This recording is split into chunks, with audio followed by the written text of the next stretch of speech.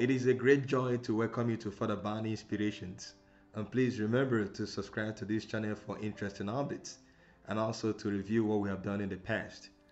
I want to share the story of the blind man who saw Jesus with you. Imagine yourself in a room that is completely dark without the least flicker of light. Imagine being in that room for years, constantly groping in the dark to navigate your way to find food or other needs. If you can entertain such imagination, then you'll be close to sharing the experience of people who are visually challenged or blind. Most people consider blindness as the worst among the other impairments of our human experience. But of course, the curiosity that goes with sin is very powerful as it gives us visual information on how to act or react to our external stimuli. So, which will you prefer if you just have one option blindness or deafness? My dear friends, the Gospel of Mark, chapter 10, from verse 46 to 52, gives us an interesting narrative about a blind man called Bartimaeus. Earlier in the same Gospel, in Mark chapter 8, from verse 22 to 25, people brought a blind man to Jesus and begged him to heal him.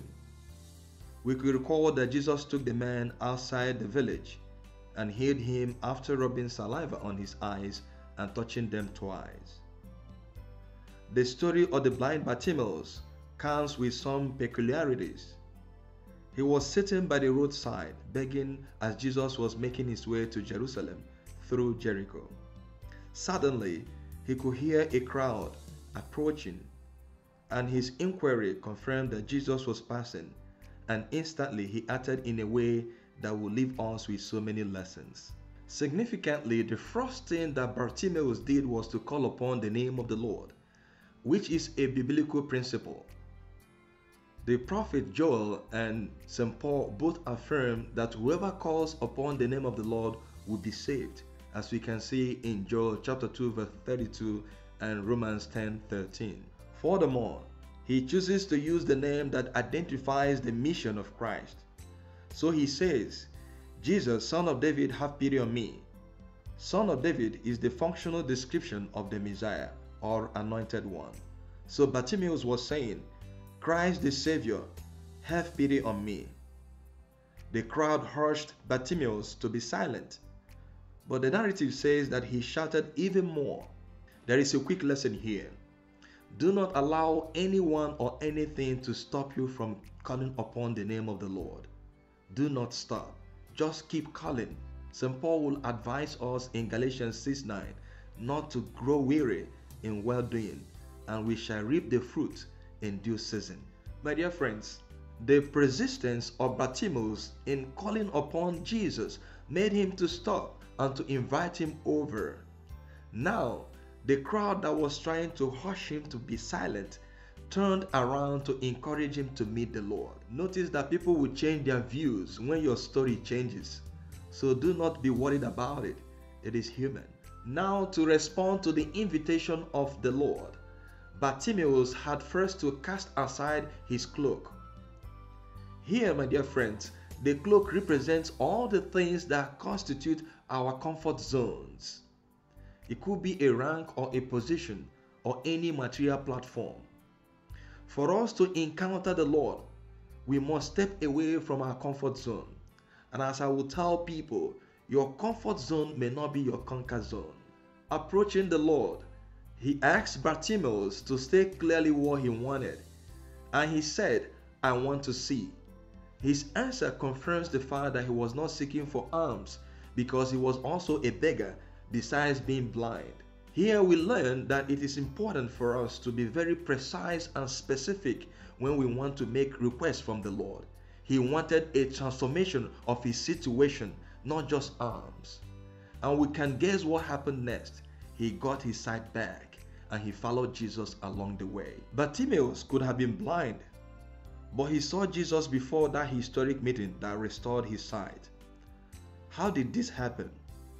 It was by his steadfast faith. He only needed to hear that Jesus was passing that way, and everything changed for him. St. Paul would tell us that faith comes by hearing, as we see in Romans 10 17. And in another place, St. Paul says, We walk by faith and not by sight, as we can see in 2 Corinthians chapter 5, verse 7. My dear friends, there will be the need for us to pay attention to the fundamentals of divine restoration in the narrative if we care to have them happen in our lives. They include first, hearing, second, believing, third, confessing, and then receiving. St. Paul will say, The word is near to you on your lips and in your heart. If you confess with your lips that Jesus is Lord and believe in your heart that God raised him from the dead, you will be saved.